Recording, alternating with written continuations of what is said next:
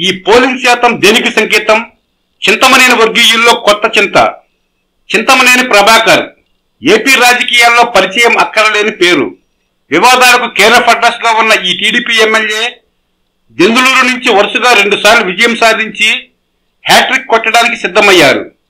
అయితే ఇది ఎంతవరకు సాధ్యమవుతుందన్న సందేహం చింతమనేని అంచనల నుంచే వినిపిస్తోంది. ఈసారి బలమైన ప్రత్యర్థి ఉండడంతో పాటు గత ఐదేళ్ళలో చింతమనేని వ్యవహరించిన తీరు కూడా దీనికి కారణమే అంటున్నారు.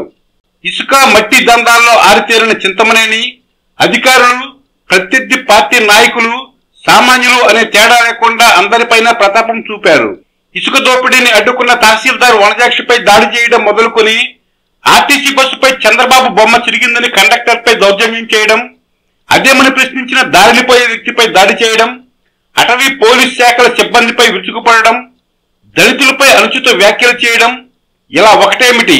ఈ ఐదేళ్ళలో ప్రతినిత్యం ఆయన వివాదాలతోనే కాలం గడిపారు. దీనికి తోడు గత ఎన్నికల్లో టీడీపీకి ప్రత్యక్ష మద్దతు ప్రకటించిన పవన్ కళ్యాణ్ పై ఆయన చేసిన వ్యాఖ్యలు సంచలనం రేపడమే కాదు. పవన్ కళ్యాణ్ తన ప్రసంగాల్లో చింతమనేని టార్గెట్ చేయడానికి కారణమయ్యాయి. ఈ ఎన్నికల్లో ఎట్టి పరిస్థితుల్లోనూ చింతమనేని ఓడించాలని పంతం పట్టిన పవన్ కళ్యాణ్ నియోజకవర్గంలో అభ్యర్థుల గెలుపోవటం ప్రభావితం చేసే ఉడ్డిర సామాజిక వర్గానికి చెందిన ఘంటసాల మహాలక్ష్మిని పోటీలో దింపారు. మరోవైపు వైసీపీ అధినేత జగన్ కూడా చింతమనేనిపై గురిపెట్టారు చింతమనేని సామాజిక వర్గానికే చెందిన కొటారు అబ్బయ్య చౌదరికి పార్టీ పగ్గాలు అప్పగించడంతో పాటు ఆయననే అభ్యర్థిగా నిలబెట్టారు. చింతమనేని వ్యవహార శైలితో విసిగి వేశారని సొంత సామాజిక వర్గంలోని కొందరు ఈసారి అబ్బయ్య చౌదరికే మద్దతు ఇచ్చినట్లు తెలుస్తోంది. వీటన్నిటికి తోడు నియోజకవర్గంలో గణనీయంగా పెరిగిన ఓటింగ్ శాతం కూడా చింతమనేనికి మింగుడు పడని అంశంగా మారింది. ఈసారి ఏపీ అసెంబ్లీ సార్వత్రిక ఎన్నికల్లో నమోదైన సగటు పోలింగ్ కన్నా జందులూరు అసెంబ్లీ నియోజకవర్గ పోలింగ్ శాతం ఎక్కువగా ఉండడం గమనార్హం. ఈ నియోజకవర్గంలో ఎనభై నాలుగు పాయింట్ ఏడు సున్నా శాతం మంది ఓటు హక్కును వినియోగించుకున్నారు. ఈ నియోజకవర్గం అసలే ప్రత్యేకం. ఈ స్థాయిలో ఓటింగ్ శాతం పెరగడం దేనికి సంకేతమో అర్థం కాక చింతమనేని అనుచరులు తలపట్టుకుంటున్నారు. చింతమనేని ఎన్ని వివాదాల్లో చిక్కుకున్నా చివరకు చంద్రబాబు ఓటు ఆయనకే వేశారు. దీనికి కారణం చింతమనేనిపై చంద్రబాబుకున్న ప్రత్యేకమైన అభిమానంతో పాటు ఆయనకు నియోజకవర్గంలో మాస్ ఇమేజ్ ఉండడం కూడా ఒక కారణం.